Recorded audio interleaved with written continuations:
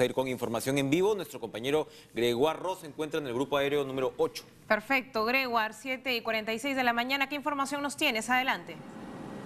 ¿Cómo estás, Enrique? ¿Cómo estás, Patricia? Muy buenos días. Lo que estamos observando son tres de las aeronaves que en los próximos minutos ya va a dar inicio el día de hoy a lo que es el puente aéreo con dirección a la carretera central.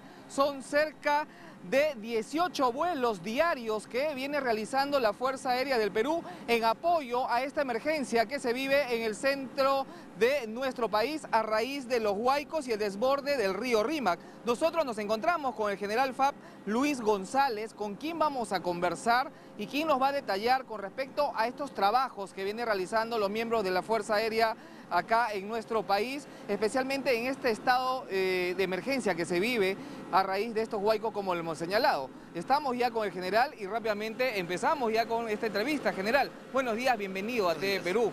Son 18 vuelos diarios que viene realizando la Fuerza Aérea del Perú.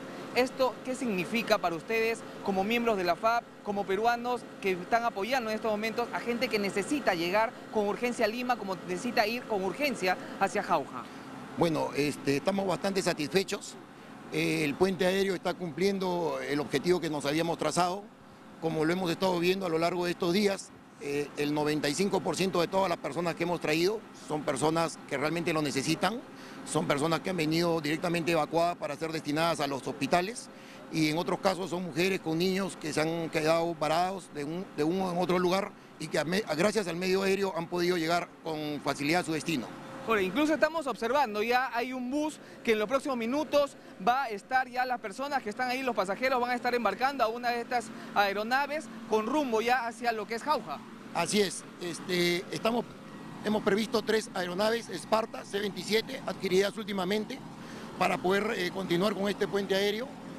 Eh, los vuelos son de aproximadamente solo 30 minutos. El día de hoy teníamos previsto Jauja y Mazamari, sin embargo, las condiciones en Mazamari no han amanecido buenas, al igual que ayer. Entonces, los tres aviones van a iniciar las operaciones directamente apoyando a, la zona de Jauja. Ahora, para esta emergencia que se vive en el centro del país a raíz de estos huaicos del desborde del río Rímac, ¿cuántos pilotos han sido asignados para poder participar de lo que es este puente aéreo? Bueno, hasta el momento hay más de 20 pilotos este, asignados a esta operación ya que como nosotros eh, conocemos, las tripulaciones deben ser relevadas durante el día después de cierta cantidad de horas, siempre pensando en la seguridad.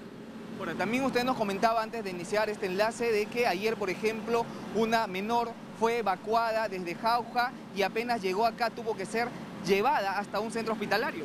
Sí, realmente fue algo conmovedor. Llegó una niña con un tumor en la cara, eh, bastante grande, eh, en coordinación con el Ministerio de Salud. Ya estaban acá las ambulancias para apoyarla y trasladarla al, Hospital del Niño o si era necesario al Neoplásicas. Ahora, casos como el que ocurrió ayer con esta menor se están presentando prácticamente a diario porque necesitan llegar urgente a la ciudad de Lima y si no hubiera este puente aéreo sería muy perjudicial para la salud de estas personas. Así es, básicamente cuando los aviones regresan de la zona de Jauja o de Mazamari es donde se ve la mayor cantidad de evacuados personal que necesita llegar con urgencia a Lima para dirigirse a los hospitales.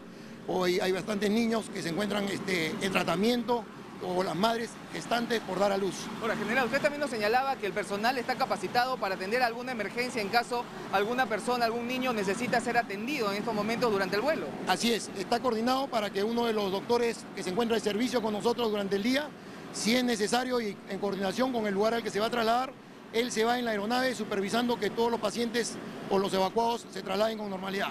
Muy bien, muchísimas gracias. Declaraciones del general FAB Luis González. Son varios los pilotos que han sido asignados para poder eh, trabajar durante eh, la emergencia que se está registrando en la carretera central, donde se ha visto interrumpida por los huaicos y el desborde del río Rímac. Vamos a conversar rápidamente con las personas que ya están abordando una de las aeronaves de la Fuerza Aérea rumbo hacia Jauja. Vamos a conversar acá rápidamente con uno de los señores. Señor, estamos en directo para T Perú. ¿Usted se está dirigiendo a, a, qué, a, Jauja exactamente o a otra parte del centro eh, del Perú? Sí, me voy para Jauja. Ahora, ¿qué tan importante para usted es este apoyo por parte del gobierno de la Fuerza Aérea con este puente aéreo? Muy bueno porque de esa manera estamos viendo la facilidad, la comodidad de todos los que estamos aislados de Huancayo por el pase que hemos estado restringido. Muy bien, señora, usted está yendo con su pequeña también. Sí. Sí, gracias a la Fuerza Aérea del Perú. Ahora, ustedes eh, a raíz de esto no, no han podido pasar, han intentado llegar hasta Jauja, hasta Huancayo por carretera. No, de frente por vía aérea. Por vía aérea. Les han dado la opción y ustedes han aprovechado esto poder llegar. Sí, sí, Pero también hay personas que necesitan venir con urgencia desde, Sí, desde sí, Jauja. sí. ¿Está, digamos, conforme con todo este apoyo que están brindando? Sí, estoy conforme y agradezco a la Fuerza Aérea del Perú. Muy bien, muchísimas gracias. Esta es la situación, Enrique y Jennifer. Vemos, son cerca de 50, 60 personas que en estos momentos acaban de abordar ya uno de estos aviones, como es el Esparta, que ha sido adquirido por el gobierno hace poco nomás. Y a través de esta aeronave, ya en los próximos 30 minutos, ellos van a estar llegando hasta su destino, que es Jauja, para luego ya ir a las diferentes ciudades del centro del país. Del mismo modo, hay un grupo ya de personas que están esperando en Jauja poder llegar a Lima de manera urgente, tal como lo señalaba el general FAB Luis González. Incluso han habido personas muy enfermas que gracias a este puente aéreo han podido ser atendidas a tiempo, a tiempo acá en la ciudad de Lima, como el caso de esta pequeña que tenía un tumor. Y acá estamos nuevamente con el general Luis González. General, ¿cómo puede hacer la gente, por ejemplo, de Jauja, que en estos momentos nos está viendo y necesita llegar con urgencia acá a Lima? Eh, eh, la relación de pasajeros la está haciendo el Ministerio de la Mujer e Inclusión Social en coordinación con Defensa Civil. Se está priorizando básicamente a las personas de más necesidad, que son las personas de la tercera edad, eh, mujeres gestantes o con niños pequeños. Esta es la prioridad, mujeres gestantes, eh, niños pequeños, adultos mayores y personas con discapacidad. personas con discapacidad. Ahora, ¿ustedes van a continuar hasta qué hora se van a realizar estos vuelos? Bueno, para el día de hoy tenemos programados los tres aviones, como le había dicho, deben estar volando prácticamente eh, durante todo el día. Eh, van a empezar, como lo vemos a este momento, debemos de estar acabando cerca de las 5 de la tarde. 5 de la tarde. Eso es lo que señala y lo que se indica. Hasta las 5 de la tarde, después de las 5 ya no pueden volar los aviones. Sí, tenemos la restricción de- del aeropuerto que no tenemos para poder operar de noche, pero hasta las 5 de la tarde ya debemos haber hecho un promedio de 18 vuelos probablemente. Son el Hércules, el Antonov, el Esparta recientemente adquiridos, los que están designados para este puente aéreo. Básicamente las misiones las está cumpliendo el avión Esparta, los tres que vemos acá, y si desborda la capacidad de estos aviones, está apoyando el avión Hércules o el avión Antonov.